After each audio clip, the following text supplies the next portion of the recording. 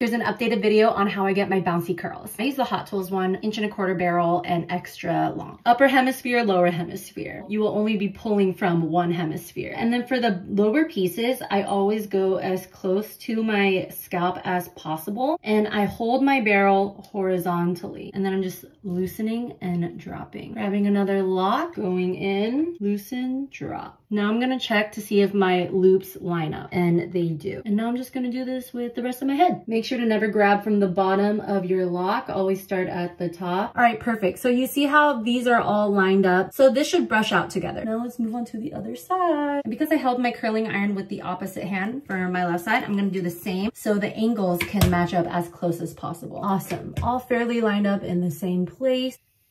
There we have it. That's how I get my bouncy curls.